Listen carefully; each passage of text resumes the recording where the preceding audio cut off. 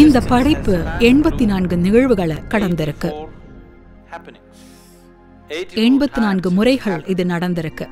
இந்த அர்த்தத்துல வெறும் இருபத்தி ஒரு படைப்புகள் தான் இன்னும் ஏதோ ஒரு விதத்துல உயிர்ப்பா இருக்கு. மீதி அறுபத்தி மூன்றும் முற்றிலுமா போயிடுச்சு. நீங்க எப்படி பார்த்தாலும் அதை உங்க உடலமைப்புக்குள்ள சுவடுகளை மட்டும்தான் பார்க்க முடியும்.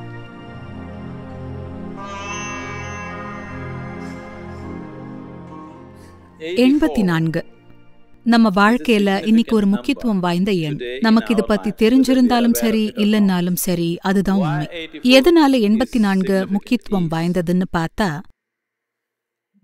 இந்த படைப்பு எண்பத்தி நான்கு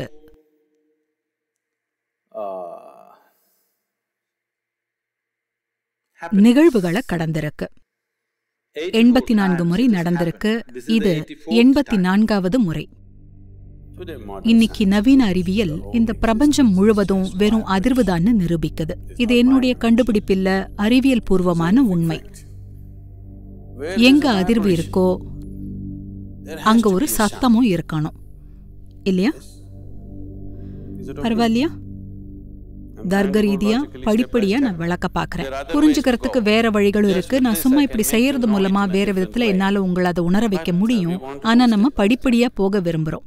எங்க அதிர்வு இருக்குதோ அங்க நிச்சயமா சத்தமும் இருக்கும். அப்படித்தானே அதனால நீங்க வெறும் அதிர்வு இல்ல நீங்க ஒரு சத்தம். அல்லது கூச்சல்னு சொல்லலாம். சத்தங்கள் செய்யறவங்க சத்தங்கள் செய்யாதவங்க. எல்லாருமே ஒரே சத்தம் தான். இதத்தான் நவீன அறிவியல் உங்களுக்கு சொல்லுது. ரொம்ப காலத்துக்கு முன்னாடி யாரோ இத சொன்னாங்க. முதல்ல ஒரு வார்த்தை இருந்துச்சு. அந்த வார்த்தை தான் கடவுள்னு சொன்னாங்க. இல்லையா? ரொம்ப காலத்துக்கு முன்னாடி இப்படி சொன்னாங்களா? சத்தம்ங்கிறது ஒரு வார்த்தை தானே அல்லது வார்த்தைங்கிறது ஒரு சத்தம்னு சொல்லலாம். இப்ப நான் எஸ்ன்னு சொன்னா உங்களுக்கு ஆங்கில மொழி தெரியறதால வார்த்தைக்கு அர்த்தத்தை சேர்த்துக்கிறீங்க. உங்களுக்கு இங்கிலீஷ் தெரியாத பட்சத்துல உங்களை பொறுத்தவரை நான் வெறுமனே சத்தம் எழுப்புறேன். அவ்வளவுதான் இல்லையா? அவங்க மொழிகள் உங்களுக்கு தெரியாததால ஏதோ கிறுக்குத்தனமா அவங்க சத்தம் போடுறதா நினைச்சுக்கிறீங்க. இல்ல அவங்க ஏதோ சொல்றாங்க.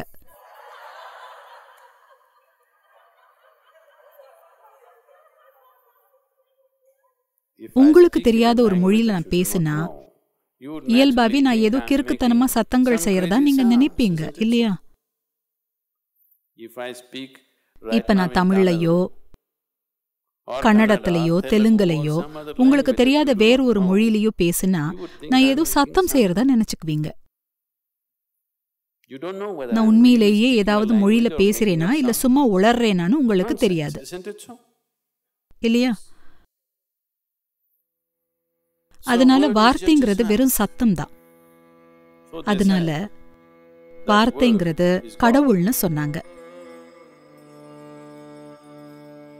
ஏன்னா இந்த பிரபஞ்சத்தை கவனமா பார்க்குற யாரா இருந்தாலும்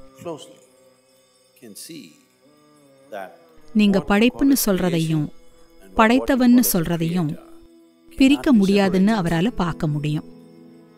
அதை நீங்க பிரிச்சீங்கன்னா படைப்புங்கிறதே முடிஞ்சு போயிடும். படைப்பின் மூலத்துடைய இடைவிடாத உறுதுணை இல்லைன்னா ஒரு கணம் கூட இந்த படைத்தல் செயல்முறை நடக்க முடியாது. ஏன்னா படைப்புங்கிறது முடிஞ்சு போன விஷயம் இல்ல நடந்துகிட்டே இருக்கு. இல்லையா? நீங்க தொடர்ந்து நிகழ்ந்துகிட்டே இருக்கிறீங்களா? இல்ல நிகழ்ந்து முடிஞ்சாச்சா? நீங்க முடிஞ்சு போன விஷயமா இருக்க மாட்டீங்கன்னு நம்புறேன். படைப்பின் மூலத்துடைய ஈடுபாடு இல்லாம படைப்பு எப்படி தொடர்ந்து நடந்துட்டே இருக்கிற செயல்முறையா இருக்க முடியும்? அது இடைவிடாம ஈடுபட்டிருக்குது. அதை பிரிக்க முடியாது. இதனால தான் முதல்ல ஒரு வார்த்தை இருந்துச்சுன்னு சொன்னாங்க. அப்படின்னா உருவெடுக்காத படைப்பு உருவெடுக்க ஆரம்பிச்சப்போ முதல்ல நிகழ்ந்தது. சத்தம்தான் விஞ்ஞானிகள் கூட இத பெருவெடிப்புன்னு ஏத்துக்கிறாங்க A bang means a வெடிப்புன்னா சத்தம்? தானே இந்தியாவுல இத ரொம்ப ஆழமா வெளிப்படுத்தி இருக்கிறாங்க.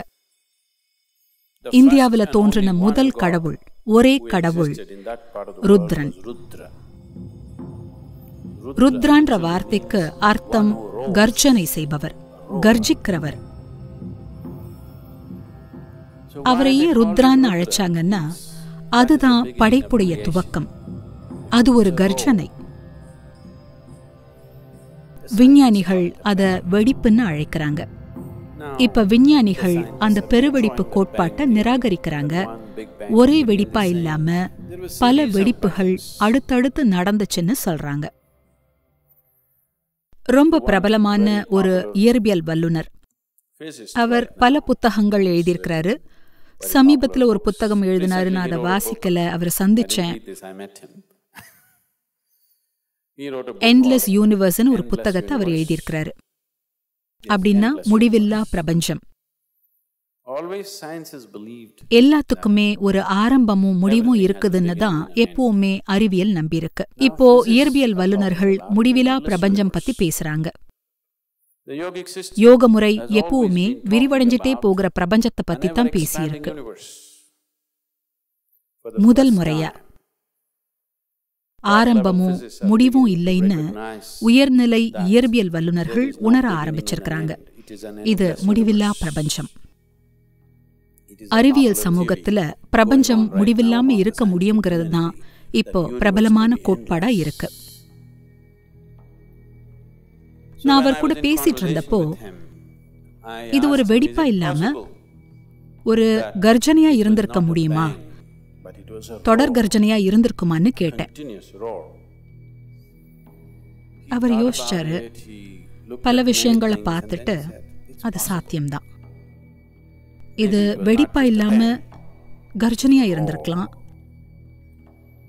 அது ஒரே சமயத்துல நடக்காம குறிப்பிட்ட காலத்துக்கு கர்ஜனை செஞ்சுட்டு மெல்ல படைப்பு நடக்க துவங்கி இருக்கும் அப்படின்னாரு. அதனால முதல் வடிவம் முதல் கடவுள் கர்ஜிக்கிறவரா அறியப்படுறாரு. ருத்ரான்னா கர்ஜிக்கிறவர் அதனால அவர்கிட்ட இவர் எத்தனை முறை கர்ஜனை செஞ்சிருப்பாருன்னு நினைக்கிறீங்கன்னு கேட்டேன். அதுக்கு அந்த விஞ்ஞானி அதை நம்மால சொல்ல முடியாது. அது தெரிஞ்சுக்கிறதுக்கு வழி இல்ல. நிச்சயமா அவர் ஒரு முறைக்கு மேல கர்ஜனை செஞ்சிருக்கிறாருன்னு சொன்னார். அதுக்கு நான் என்னைக்காவது உங்க ஆராய்ச்சி உங்களை அங்க கொண்டு போச்சுன்னா இதை வழிகாட்டியா வச்சுக்கோங்க. அவர் எண்பத்தி நான்கு முறை கர்ஜனை செஞ்சிருக்கிறாருன்னு சொன்னேன். அதுக்கு அந்த விஞ்ஞானி உங்களுக்கு எப்படி தெரியும்? எந்த அடிப்படையில சொல்றீங்கன்னு கேட்டாரு. என்னோட உடலமைப்பை பார்த்து படைப்பு எண்பத்தி நான்கு முறை கர்ஜனை செஞ்சிருக்கு. அதுக்கு மேலேயும் பல பல முறை கர்ஜனை செய்யும்னு நான் சொன்னேன். அதிகபட்சமா நூற்றி பன்னிரண்டு முறை 112 கர்ஜனை செய்யும். அது கடைசி முறை கர்ஜனை செய்யும் போது ஆரம்பமும் முடிவும் இருக்காது. அது முடிவிலா படைப்பா இருக்கும் அது வெகு தூரம். ஆனா அவர்கிட்ட இத சொன்ன இந்த எண்பத்தி நான்கு ஒருவித வழிகாட்டியா வச்சுக்கோங்க. இயந்திரங்கள் கணிதத்தோட உதவி உங்களுக்கு இருக்கு. நான் ஒன்னையும் ஒன்னையும் சேர்த்தா எவ்வளவுன்னு கத்துக்கல. நீங்க அதெல்லாமே கத்துட்டு இருக்கீங்க. இதுல என்னைக்காவது வேலை செய்யுங்க. என்னைக்காவது ஒரு எண்ணிக்கையை அடைவீங்க. அந்த எண் இதுவா தான் இருக்கும். அது எண்பத்தி நான்கா இருக்கும்னு சொன்னேன். இது எப்படி சாத்தியம்னு விஞ்ஞானி கேட்டாரு. நான் சொன்னேன் இன்னைக்கு நீங்க ஒரு மரத்தை வெட்டுனா அதுல இருக்கிற வளையங்களை பார்த்து கடந்த ஆயிரம் ஆண்டுகள்ல எப்ப பஞ்சம் வந்துச்சு எப்ப அதிக மழை பெஞ்சுச்சு எப்ப காட்டுத்தீ ஏற்பட்டுச்சு எல்லாமே சொல்றீங்க தானே? உங்கள் உடலமைப்பை உங்கள் விழிப்புணர்வால் உங்க விழிப்புணர்வால நீங்க வெட்டுனா படைப்புடைய மொத்த சரித்திரமும் இதுக்குள்ள எழுதப்பட்டிருக்குது. எண்பத்தி நான்கு முறை படைப்பு கர்ஜனை செஞ்சிருக்கு. நம்ம எண்பத்தி நான்காவது கர்ஜனையில இருக்கிறோம். அந்த எண்பத்தி நான்காவது கர்ஜனையோட விளைவாத்தான் நாம இப்ப இங்க இருக்கிறோம்னு சொன்னேன். இங்க நடந்திருக்கிற எண்பத்தி நான்கு படைப்புகள்ல எண்பத்தி மூன்று நடந்து முடிஞ்சிருச்சு. எண்பத்தி நான்காவது நடந்துட்டு இருக்கு இதுல படைப்பு நடந்துட்டே இருக்கு கரையிறதும் நடந்துட்டே இருக்கு ஏதோ ஒரு படைப்புக்கு. கரைஞ்சு போகிற செயல்முறை துவங்கி அது கரைஞ்சிட்டே இருக்குது. இதுல இன்னும் 20 இருபது மட்டுமே இன்னும் கரையிற. செயல்முறையில இருக்குது. வெவ்வேறு நிலைகள்ல கரைஞ்சிட்டு இருக்கு. மற்றதெல்லாம் முழுவதுமா அழிஞ்சிடுச்சு அதை உங்க விழிப்புணர்வுல மட்டுமே நீங்க பார்க்க முடியும். இந்த படைப்புல நீங்க பார்க்கலாம். ஏன்னா ஏதோ ஒரு விதத்துல எல்லாத்துடைய சுவடுகளும் அனுபவங்களும் இந்த படைப்புல அடங்கியிருக்கு. நீங்க செய்யற எல்லாத்துலயும் உங்க வாழ்க்கை அனுபவத்தை நீங்க சுமக்கிற மாதிரியே படைக்கும் செயல்முறையும் படைப்புடைய எல்லா அனுபவத்தையும் அடுத்தடுத்த படைப்புகளுக்குள்ள கொண்டு செல்லுது. ஒவ்வொன்றும் முற்றிலுமா மாறுபட்டதா இருந்தாலும் முந்தைய சுவடுகளை சுமக்குது. நீங்க ஸ்கூலுக்கு போய் ஃபுட்பால் uh, விளையாண்டீங்க. uh, இருபத்தஞ்சு வருஷத்துக்கு முன்னாடி 25 இது நடந்துச்சு இப்போ உங்களுக்கு 45 வயசு 45 ஆகி, uh, திடீர்னு உங்க வீட்டுக்குள்ள. ஒரு திருடன் புகுந்தான்னு வச்சுக்கலாம். ஒரு திருடன் உங்க வீட்டுக்குள்ள புகுந்தா நீங்க இப்படி செய்ய மாட்டீங்க இப்படித்தான் போவீங்க. இல்லையா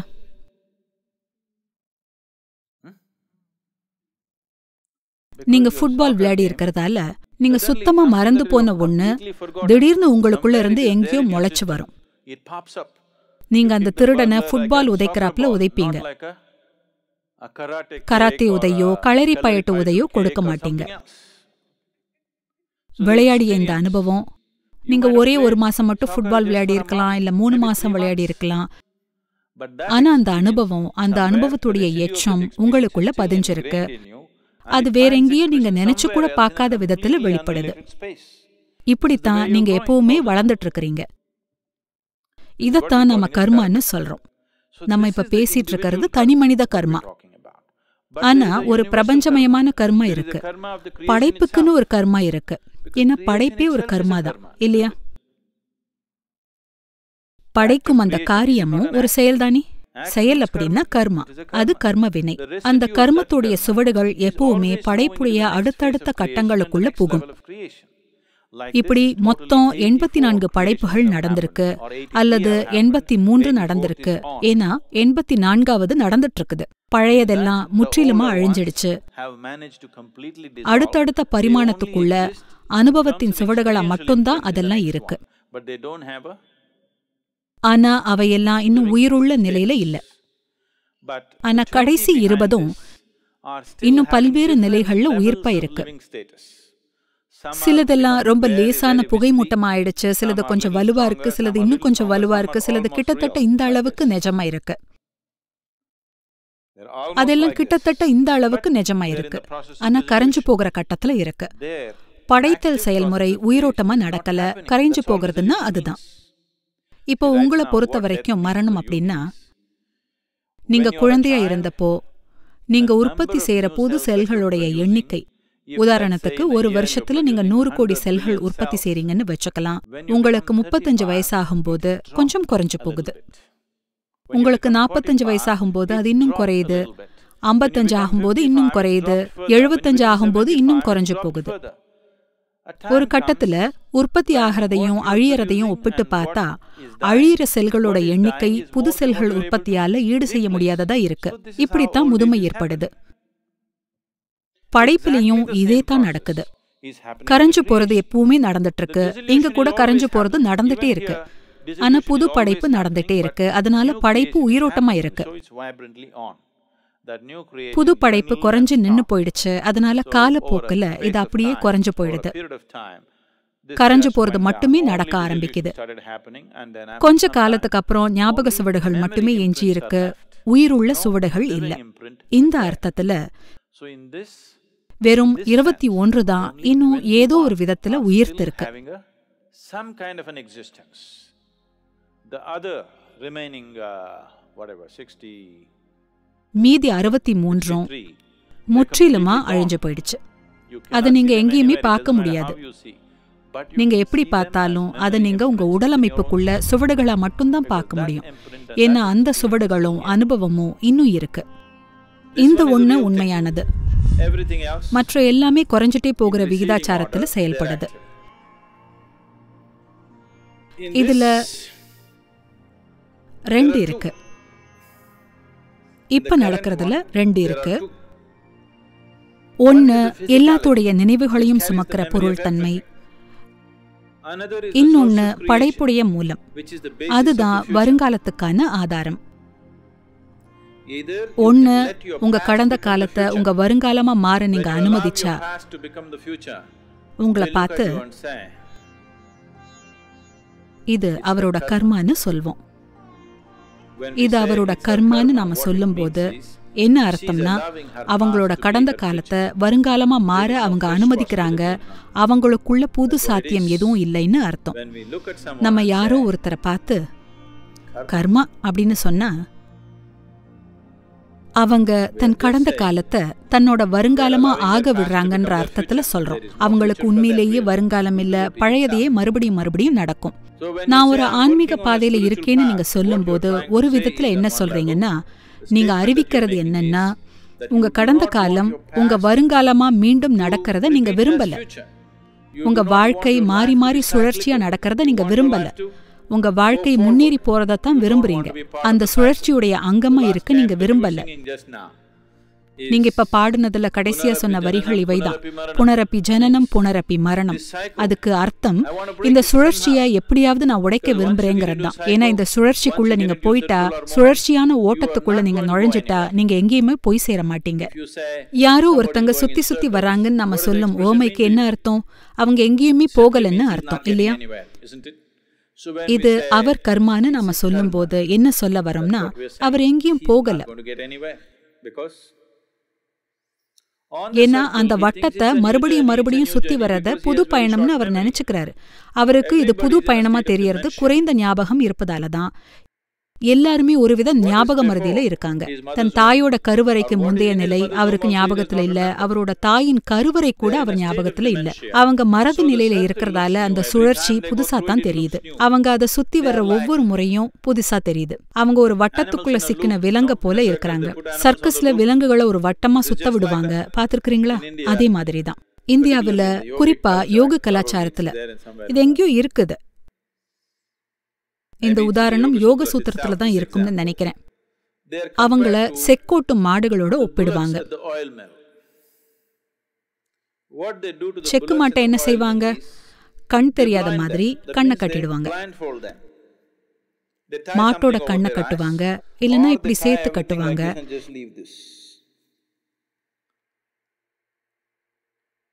இதை மட்டும் விட்டுட்டு. செக்க சுத்த விடுவாங்க அந்த மாட்டை பொறுத்தவரை எங்கேயோ போகுதுன்னு. அது நினைச்சுக்கும் நீங்க ட்ரெட்மில்ல போற மாதிரி தான் நீங்க எங்கேயோ போற மாதிரி இருக்கும் ஆனா எங்கேயுமே. போக மாட்டீங்க.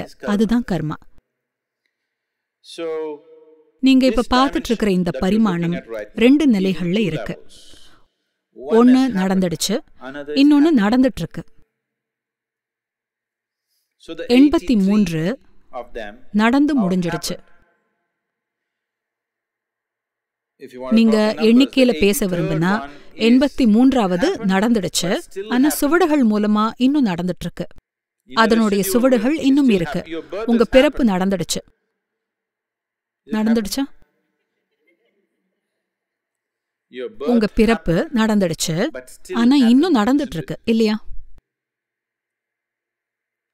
உங்க மரணமும் நடந்துடுச்சு ஆனா இன்னும் நடந்துட்டு. இருக்கு நான் என்ன சொல்றேன்னு உங்களுக்கு புரியுதா? உங்க மரணம் முன்பே தீர்மானிக்கப்பட்டதா இருக்கு இல்லையா? அது ஏற்கனவே நடந்துடுச்சு. நீங்க பிறந்த கணமே உங்க மரணமும் நடந்துடுச்சு. உங்க மரணத்தை நோக்கிய முதல் படி நடந்துடுச்சு. ஆனா இன்னும் நடந்துட்டே இருக்கு. அது முழுமையடைய நீங்க காத்திருக்கீங்க. அல்லது அது தாமதமாகணும்னு நீங்க விரும்புறீங்க. ஆனா அது நடந்துட்டே இருக்குதானே? அது ஏற்கனவே நடக்கவும் செஞ்சிருச்சு. உங்களுக்குள்ள இன்னொரு பரிமாணம் இருக்கு. அதுக்கு பிறப்பு நடக்கல. அதுக்கு மரணமும் நடக்காது. அந்த பரிமாணத்தை தொட்டாதான் உங்களுக்கு வருங்காலம்னு as இருக்கும். a future. இல்லனா you have உங்களுக்கு கர்மா மட்டும்தான் இருக்கும். கர்மன்னா நீங்க உங்க கடந்த காலத்தையே வருங்காலத்துல மறுபடியும் செய்றீங்க. நீங்க வண்ணத்தை. மாத்தலாம். அதை செய்யற பாணிய மாத்தலாம். ஆனாலும் அதே தான் செய்வீங்க. வித்தியாசமா எதுவுமே இருக்காது. அதே விஷயம்தான் ஆதிவாசி மனிதன் செஞ்சதையே தான் நீங்க இன்னும் செய்றீங்க. உங்க பாணியும் திறமையும் மாறி இருக்கலாம் ஆனா. அதே விஷயங்களை தான் செய்றீங்க அப்படித்தானே இது ஒரு. நங்கூரம் மாதிரி இது நங்கூரம் தான் நீங்க நங்கூரத்தை வீசிட்டு படகுக்கு துடுப்பு போடுறீங்க அதிகபட்சம் அது வட்டம் வேணா போடும் இல்லையா அதனால நாம நங்கூரத்தை நீக்க பாக்குறோம். அல்லது நங்குரத்து நங்கூரத்தை கூட நம்மள பிடிச்சு வச்சிருக்கிற கயிற்ற அறுக்க பாக்குறோம். இதனால அடுத்த முறை நாம தொடுப்பு போடும்போது பயணம் நடக்கும். ஆன்மீக சாதனை முழுக்க முழுக்க இந்த அடிப்படையில தான் செய்யப்படுது. நீங்க விடுதலையாக விரும்புறீங்க. விடுதலையாகிறதுன்னா நீங்க மறக்கணும்னு இல்ல உங்களை ஆளும் ஞாபக பதிவுகள்ல இருந்து நீங்க விடுதலை ஆகணும் அந்த பதிவுகள் உங்க மனசுல மட்டும் இல்ல உங்க உடல்ல இருக்கிற ஒவ்வொரு செல்லுக்கும் இந்த ஞாபக பதிவுகள் இருக்கு மரபணு அறிவியல் மற்றும் வேறு சில விஷயங்களாலையும் இந்த அளவுக்கு நமக்கு ரொம்ப தெளிவா தெரியும் நீங்க உங்க மூதாதையர்களுடைய நினைவை இன்னும் சுமக்குறீங்க நீங்க இன்னும் அவங்கள மாதிரி தான் நடந்துக்கிறீங்க Unless you had a nose job done recently. Yes? There are many, many symbols. இப்படி பல பல அறிகுறிகள் பல பல uh, அம்சங்கள் உடல்ல இருக்கு இந்த எண்பத்தி நான்கு 84 படைப்புகளுடைய ஞாபகங்கள் இன்னும் உடல்ல. இருக்குதுன்னு அவை தெளிவா சொல்லுது. பிரபஞ்சத்துல இருக்கிற ஒவ்வொரு அணுவிலையும் இது இருக்கு அதனால நீங்க செய்ய முயற்சிக்கிறது என்னன்னா உங்க ஞாபக பதிவுல இருந்து இவற்றை சுத்தப்படுத்த விரும்புறீங்க. ஏன்னா இந்த ஞாபக பதிவுகள் உங்களை பிணைச்சு வைக்குது. ஏதோ ஒண்ணு உங்களுடையதுங்கிற உணர்வை இது ஏற்படுத்தினாலும் உங்களை பிணைச்சு கட்டி போடுது அது உங்களை போக விடாது. நீங்க சாதனை செய்யறப்போ எல்லாத்தையும் அறுக்க பாக்குறீங்க. ஏன்னா அதை அறுக்காம இந்த நங்கூரத்தை அறுக்காம நீங்க முன்னேறி போக முடியாது. இந்த ஞாபக பதிவுகள் என்னை ஏன் பிடிச்சு வச்சிருக்குன்னு நீங்க கேட்டா அந்த ஞாபக பதிவுகள் தான் உங்க உடலுக்கு ஒரு உறுதியையும் ஸ்திரத்தன்மையும் தருது. இப்ப இருக்கிற நிலைக்கு உருவமும் தருது இது இல்லாம இந்த ஞாபக பதிவு இல்லாம இந்த உடலை உருவாக்க முடியாது உங்களுக்குள்ள ஒரு சில் உயிரியா இருந்ததோடைய ஞாபக பதிவு இல்லைன்னா பரிணாம செயல்முறையில அந்த தகவல் அனைத்துமே சுமந்து வரப்படலைன்னா இப்போ நீங்க இங்க உட்கார்ந்து இருக்கிறீங்களே அந்த ஞாபகம் இல்லாம இந்த உடல் இந்த உருவத்துல இப்படி இருக்க முடியாது அதனால ஞாபகங்கிறது உங்க எதிரி இல்ல அதை எப்படி சுமக்கிறதுன்னு உங்களுக்கு தெரியல அவ்வளவுதான் நீங்க அதுக்குள்ள போயிட்டீங்க அதுதான் பிரச்சனையே நீங்க அதுக்குள்ள போயிட்டீங்க இப்ப நீங்க அதுல இருந்து வெளியே வர பாக்குறீங்க அந்த ஞாபகத்தை பயன்படுத்திக்க விரும்புறீங்க ஆனா அந்த ஞாபகங்கள் உங்களை அலைக்கழிக்கிறத நீங்க விரும்பல அதுதான் ஆன்மீக சாதனை உங்க கடந்த காலத்திலிருந்து மாறுபட்ட ஒரு வருங்காலம் வேணும்னு நினைக்கிறீங்க